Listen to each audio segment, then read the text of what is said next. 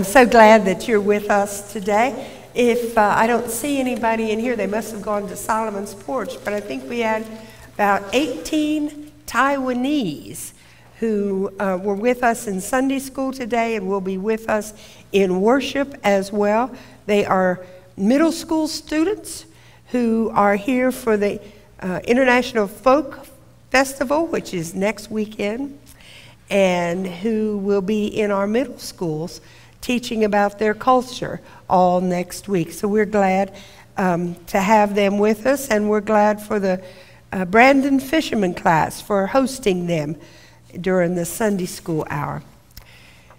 We have lots of prayer things going on uh, this week. Uh, we have our March prayer focus, which is on, uh, we're thinking about planting and, and then later on harvesting, not only physical planting and all, but spiritual planting. And you'll see on the back of your bulletin something about that, ways to direct our prayers this March. Wednesday night, we'll have a prayer walk starting at 5.30, just before church night supper, and we will walk around and circle the church. Uh, after church night supper, at 6.30, we will have our Ash Wednesday service with the imposition of ashes, and you are invited to all of these things. Then next Sunday night, prayer 109, 101, five sessions taught by uh, Bob will be starting. Now let's pray. Truly, Lord, Spirit of the living God, fall afresh on us. Come, Holy Spirit, fill the hearts of your faithful, kindle in us the fire of your love. Amen. Good morning. We're delighted to have Dixie McLean playing the organ for us today while Cindy is in Florida attending the wedding of her nephew. We sing together number 384, Love Divine, All Loves Excelling. Join me in singing this. The last stanza says, Finish then thy new creation, pure and spotless let us be. Let us see thy great salvation perfectly restored in thee. Join me in singing.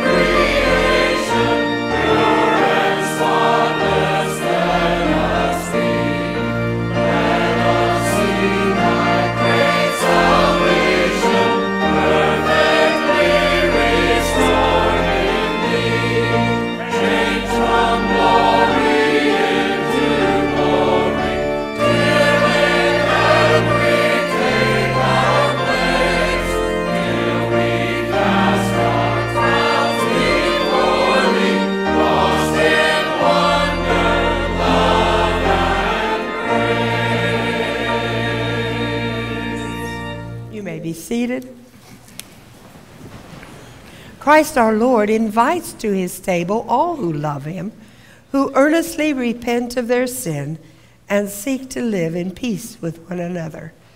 Therefore, let us confess our sin before God and one another. Merciful God, we confess that we have not loved you with our whole heart. We have failed to be an obedient church. We have not done your will. We have broken your law. We have rebelled against your love. We have not loved our neighbors, and we have not heard the cry of the needy. Forgive us, we pray. Free us for joyful obedience through Jesus Christ our Lord. Amen.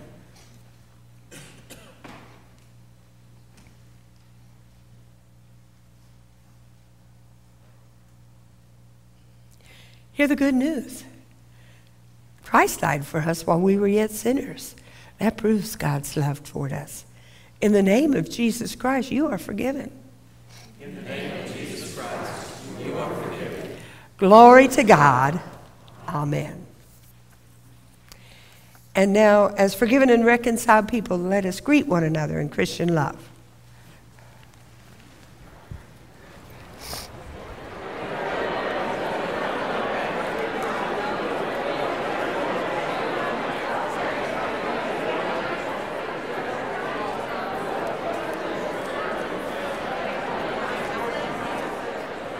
Greetings in the name of our Lord and Savior Jesus Christ. We continue our worship and we sing 452 My faith looks up to thee, thou Lamb of Calvary, Savior divine. Join me in singing.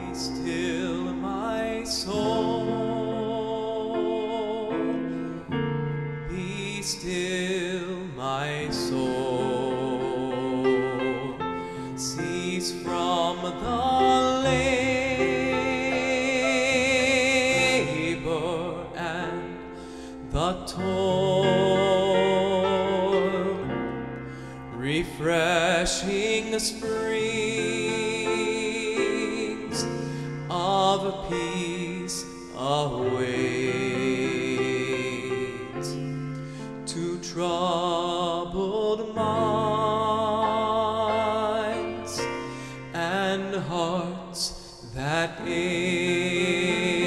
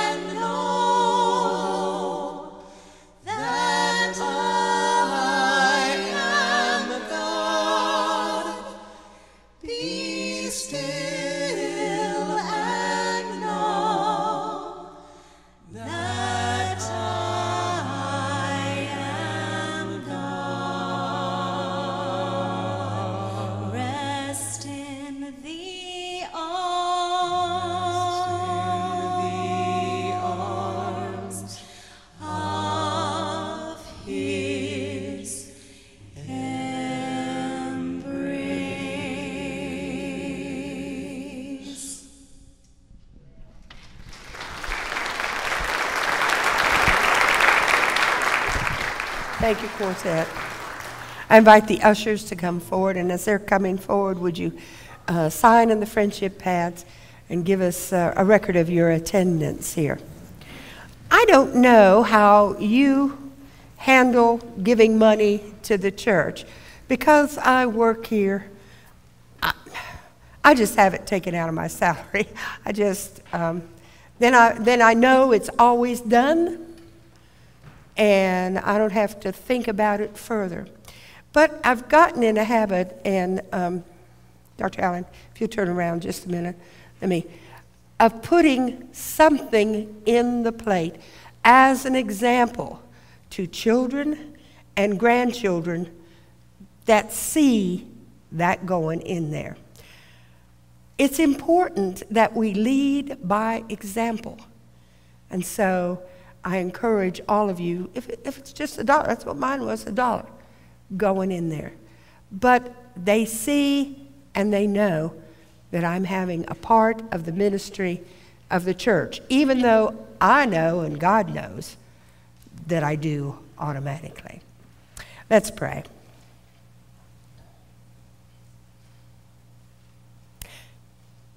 We are still before you. And we know that you are God. We know too that all that we have and all that we are belongs to you.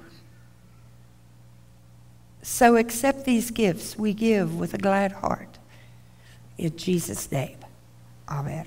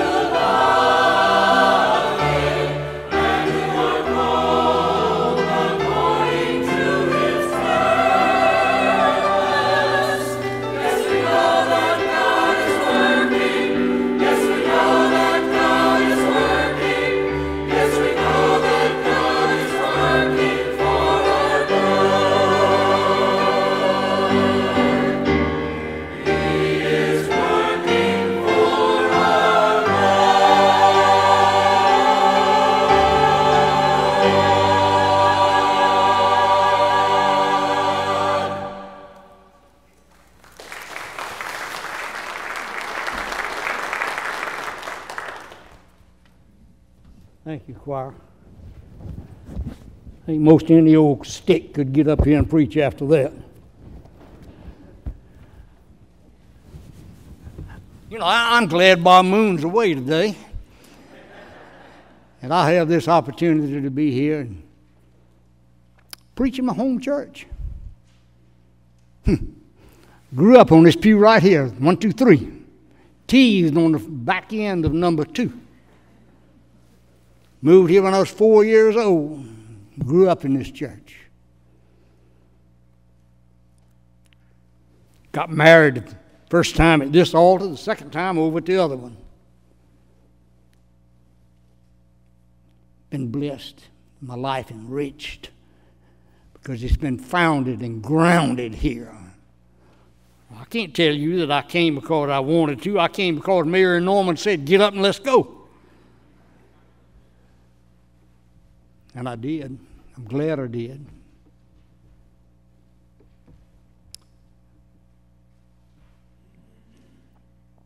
And one day I'll be laying right there. And after that, it's His glory. To tell you the truth, I'm kind of looking forward to it. I want to share with you this morning from the Gospel of St. Matthew, the 25th chapter, beginning with the 34th and reading through the 40th verses.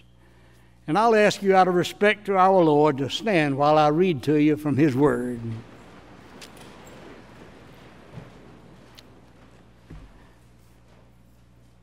Then shall the king say unto them on the right hand, Come, ye blessed of my Father, inherit the kingdom prepared for you from the foundation of the world.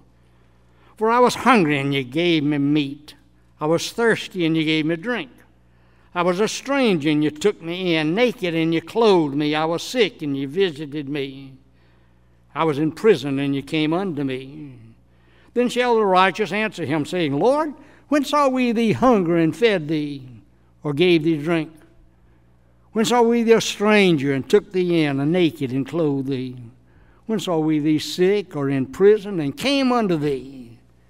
And the king shall answer and say unto them, Verily I say unto you, inasmuch as ye have done it unto one of the least of these my brethren, you've done it unto me. Will you be seated and bow your heads as we pray together?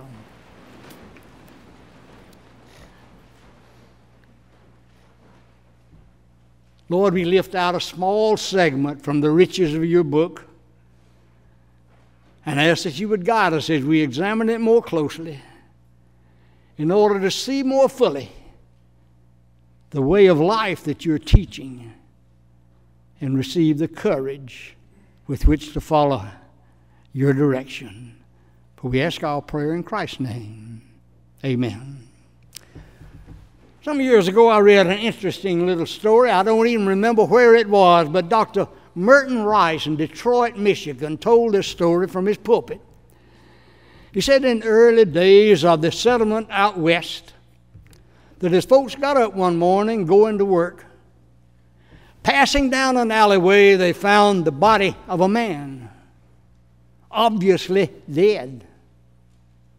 The sheriff was called. He looked around. There was quite a bit of circumstantial evidence that pointed an accusing finger at one of the local citizens. He carried him down to the local morgue, tried as best he could, going through his clothing, no identification whatsoever. Asked around town, nobody had ever seen him before. Where did he come from? I don't know. He was just there. We didn't see him. And the First time anybody saw him, he was dead. They put him on display and invited the whole community and surrounding area. Come in, look at him. Can you identify him? No one could. But the circumstantial evidence pointed so conclusively to one of the local citizens that he was arrested, carried, put in prison. His trial came up had a pretty smart cookie for an attorney representing him who did not take an opportunity to defend him really, but threw the burden of proof on the prosecuting attorney and said, You proved that this man was ever alive, or else my client did not kill him. He was never alive. Prosecuting attorney went about the community, went everywhere, he tried every way he could, could not find anybody who had ever seen him alive. So the conclusion was, according to the defensive attorney, if he had never been alive, he could not have been killed by my client, therefore, he's innocent. And on that flimsy defense, the man was released and exonerated. He had never been alive, so far as anybody could prove. And so Mr. X was buried in an unmarked grave, laid to rest.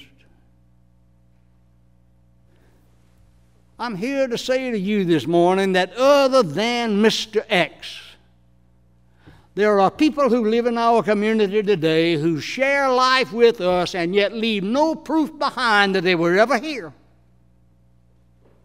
Don't do anything, don't help others, just absorb a way of living and enjoy the amenities of the community where they live. No proof that they were ever here, really. For instance, go back to the book of Genesis, and there's a man listed back there that we know very little about by the name of Methuselah. All the Bible tells us about Methuselah was he lived to be 969 years of age and he died. That's all the Bible tells us. That's all we know. I think I want more than that on my tombstone. That John lived a number of years and he died. Surely we can do better than that.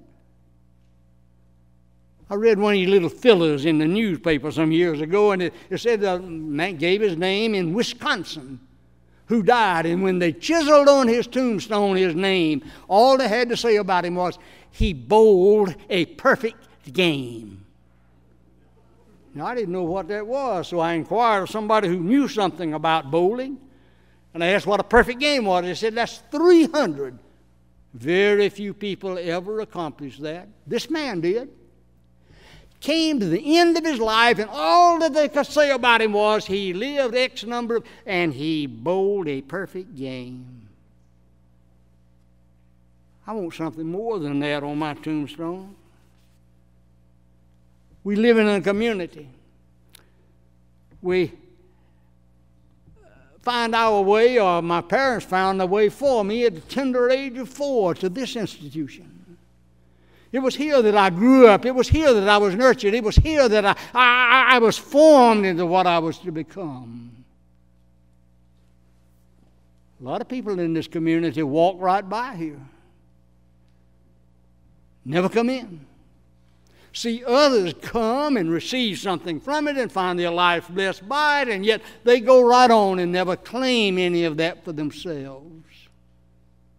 You see, folks? All we got to do is come and partake. And we fail to do it. Too many of us. Like the story I heard of a Sunday school class in the fall of the year decided to have a Halloween costume party. Gonna have it at a member's home out in the edge of town. He started out there having gone and bought him a costume and dressed him like the devil. All you could see was a, a, a face sticking out. The whole total of his being was covered up, other than that. And he went, got his pitchfork out and painted it, spray painted it with some beautiful gold paint. Had it in the car in the drive passenger's seat beside him. Started out to the costume party, fully dressed as the devil thunderstorm came up.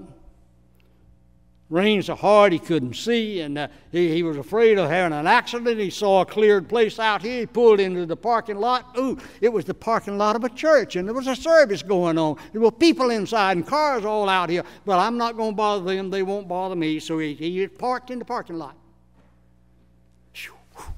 About to burn up. They got to have some air in here. He rolled the window. Couldn't do it. The rain was blowing in. Tried the other side, same thing. Finally, he decided, well, I'm going to get out and run up there on the porch. I can get some fresh air, and I won't bother them, and they won't bother me. As he ran up the steps, the preacher was in the pulpit. He saw him. he stopped out on the porch. The preacher didn't stop. He turned around and jumped head first out of a window behind the pulpit. Folk up and down both sides of the aisle began to look around what's going on. They spotted this the, the devil out on the porch of their church. And one by one, they began to empty that sanctuary out the side windows, except for one dear lady who sat too long at the table and ate too much.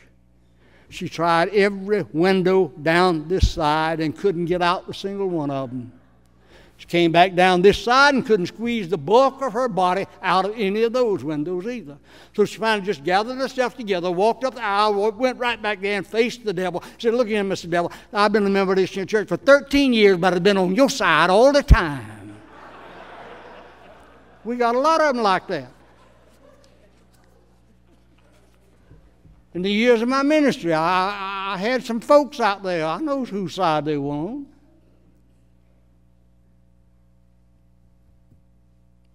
They walk right by the church and never come in and receive any of that good stuff that's in here for them that'll help them in the living of the life.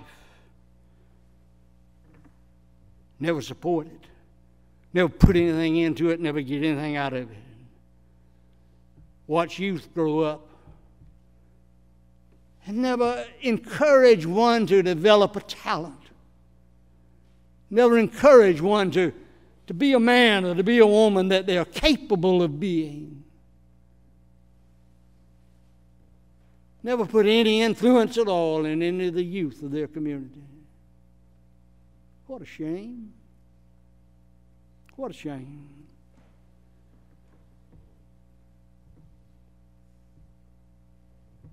When I had two high schoolers living in the parsonage where I was serving, I discovered that on Sunday night after church, uh, the kids in the community, and we were having evening services then, and they were the kids were gathering out at the Dairy Queen and just sitting around out there and talking, visiting with one another. And I got where I, would take Mama and the, the baby home, and uh, the two teenagers in high school and I would go out to the Dairy Queen, take off my jacket and put it on the back seat, loosen my tie sit on the fender of the car and talk to the young people. I'd ask them questions, they'd ask me questions. We had a good rapport going. Until one night I got real bold and I asked the crowd, What is there about my generation that you so dislike? Young lady over here, who incidentally was the valedictorian of the high school class that year, looked me straight in the eye and said, You old folks tell us one thing and you do another. And I said to my two high schoolers, Get in the car, we got to go. I having to come back for that. She shot me right out of the saddle, and I knew it. Too many of us are not being the kind of people we need to be. Little Ronnie got off the school bus in front of a Jiffy Market in his neighborhood every afternoon after school. He'd go into Jiffy Market and get him a big orange drink and give him a change in pennies, please. Of course, the man did it and didn't pay attention to it, but it got to be such a regular thing, he got curious about what Ronald was doing. He'd go out the door and with his orange drink and his change and walk down beside the building, go around back. Nothing back there but woods and a little creek. So he said to his wife one day when Ronnie had been by and got his big orange drink and his uh, change in pennies, and said, Honey, would you watch the register for a few minutes? I, I, I got to see what's going on here. So he followed little Ronnie when he went around the building and down the slide and back through the woods. And he got back and saw little Ronnie sitting down by a tree, and he stopped and watched took note of what was going on. He was just sitting there. But he reached over and got that big orange drink, got him a big guzzle of it, and sat it down. Got up and ran around the tree, came back, reached in his pocket, got a penny and threw it in the creek, sat back down. What in the world's going on? He repeated that process. And when he sat back down, the man from the Jiffy Market asked him, Son, Ronnie, son, what are you doing? Oh, nothing. Yes, you are too. I saw you. You, you take a drink, you get up and run around a tree, you take a penny, throw it away, sit back down. What are you doing? Oh, he said, I'm playing grown up. Playing grown up? Yeah. I'm drinking and running around and throwing my money away. I'm playing grown up which is about the impression that a lot of them receive from us who are the adults. who ought to be the living example before them, but we are failing miserably.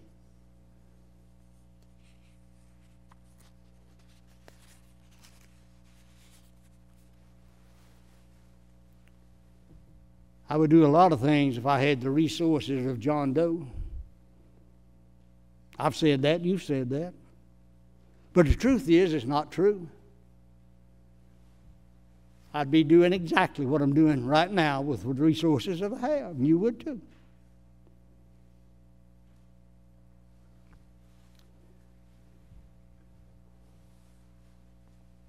Big, bulky guy, muscles on top of his muscles. Little fellow looked at him in, in admiration. He said, If I was big and strong as you, I'd go up there in those mountains and find the biggest bear up there, and I'd kill him with my bare hands. Big fellow bear patiently listened to him, and then he said, Sonny boy, let me tell you something. There's some little bears up there, too. But we don't think about that. We don't think about doing what we could be doing and should be doing. Jesus said, I was hungry and you gave me food. I was thirsty and you gave me drink. I was a stranger and you took me in. I was naked and you clothed me. I was sick and you came in. And I was in prison and you came to me. When did we see you there? When you did it unto one of the least of these, you did it unto me.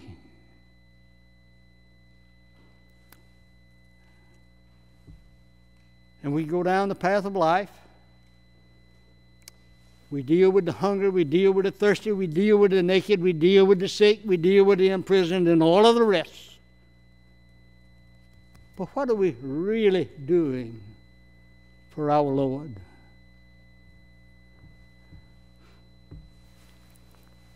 You do it, but let me tell you do not look for instant gratification. Just do it for the Lord and move on down the pathway. Gratification comes sometimes later.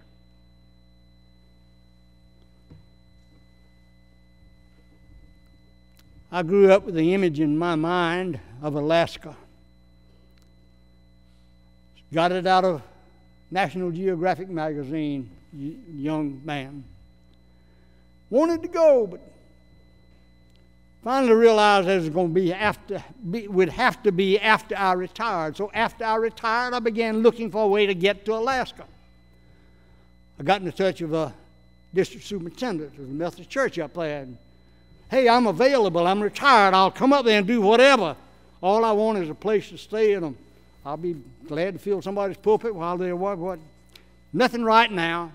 Shortly, though, I got a phone call. Can you come? This is about the early part of May. Can you come and be here the first Sunday in June?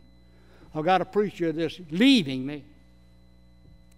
And I can't get another one until September. Would you come and fill in? I said, Look out your door. That's my dust you see coming up the road. Martha and I got busy. We packed the car two little South Georgia crackers, never been outside, out of sight hardly of Lowndes County, and drove to Alaska. Served as the interim pastor of the church up there for the summer of 92. Had an absolutely wonderful experience. Loved it. In the years afterwards, I guess I'd been back, I don't know, five, six times to visit. And one of the church members up there had been down to visit me twice. Love that country. Beautiful beyond description.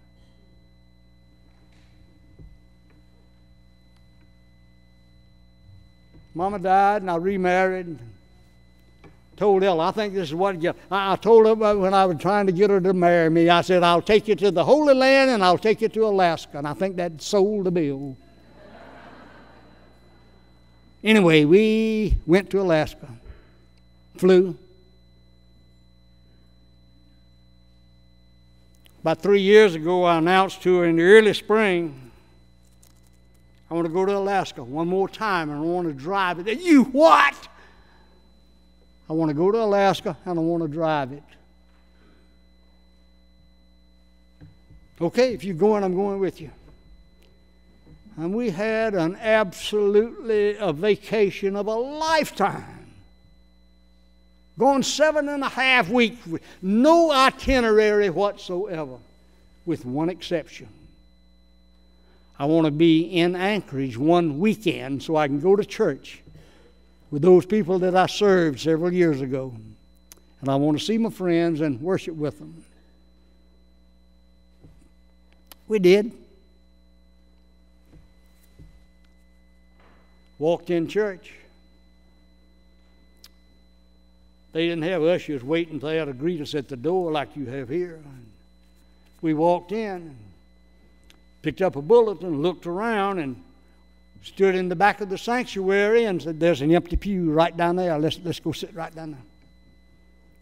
So she led the way, and I followed.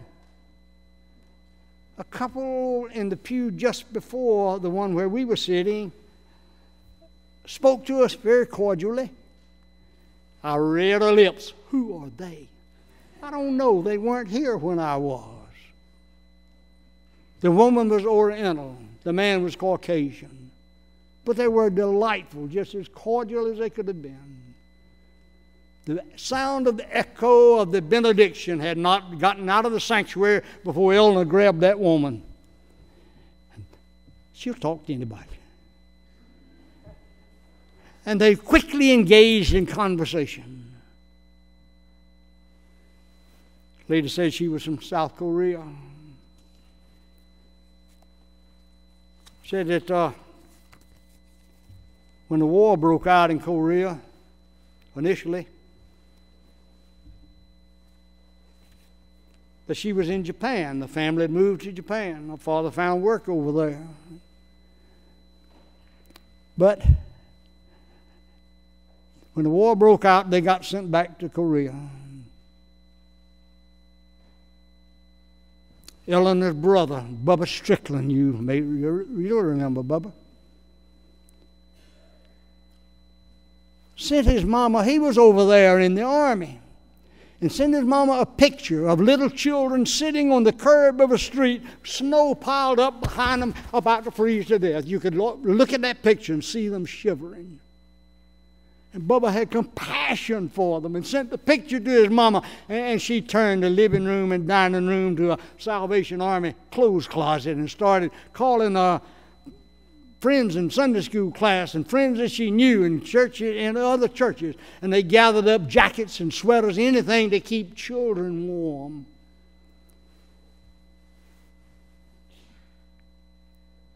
Eleanor said, My part was to fold sweaters. And when the jackets were folded, Mama got some little Christmas stockings, those little red knit, I mean, red net Christmas stockings. And I put gum and candy and little toys in there and put them in the jacket pockets. That was my job.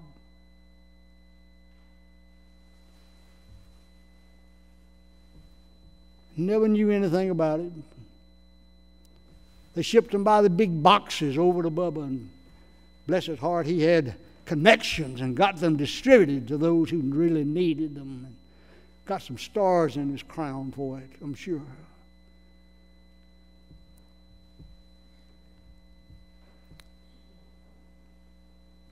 But Eleanor said, I didn't know anything about Korea, but just had a brother over there during the war.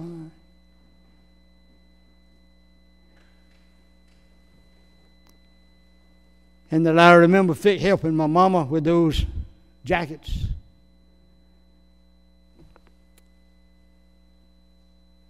And she said, That's all I know about South Korea. This lady, her newly acquired friend, began to weep. Oh my goodness, she said, I, have hit a sensitive nerve. I, I, didn't mean to upset you. I'm sorry. I don't know what had happened, but I'm so sorry. So, no, no, no, no, no, you don't understand. She said, I got one of those coats. And I know it because there was a little red stocking in the pocket. And it had gum and candy and some little toys. And I often wondered who sent it. And as they continued to literally puddle on the floor with their shared tears, and Eleanor said, and I wondered who got them. This is 55 plus years later that she found out what happened to an act of kindness and compassion on the part of an occupying soldier and his mama and his sister. And there she says, it made all the difference in the world. She later married, married a, met and married a soldier. a different time. But she's now grown. She met and married a soldier and came back to this country with him. And there he was, sitting in the congregation right behind us. Only the Lord could have done that. That's one of those God moments. You know He did it. 55 plus years later. What are you doing that's going to make a difference in anybody's life? What are you doing to help one along the pathway? What are you doing to help one of God's children survive today and look forward to tomorrow?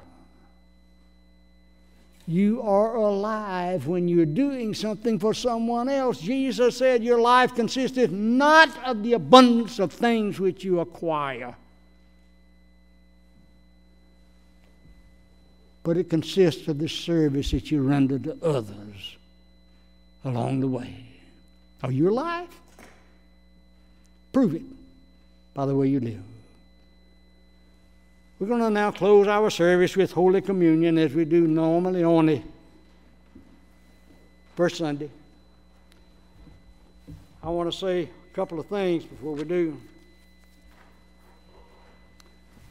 Offering plates on each side, you know they're, they're there for the hungry, the poor, the, the naked, the, the, those who need help.